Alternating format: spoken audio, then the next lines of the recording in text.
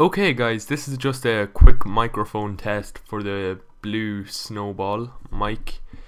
And uh, I'm just going to switch between the settings here and see which setting you guys think sounds best on YouTube. So this is setting number one that I've been talking on the whole time. I'm now going to switch not switch. I'm going to switch to setting number two now. Okay there we go. Now we're in setting number two let me know down in the comments which which one you think sounds best. Um, I'm gonna switch to setting number three now. Okay, this is setting number three, and I don't know how any of these sound, so uh, I'll upload this and leave comments on which one you think sounds the best. I'll have probably have a good enough judgment myself, but whatever you guys think is best I will use. So thanks for watching. This is Oshin. Bye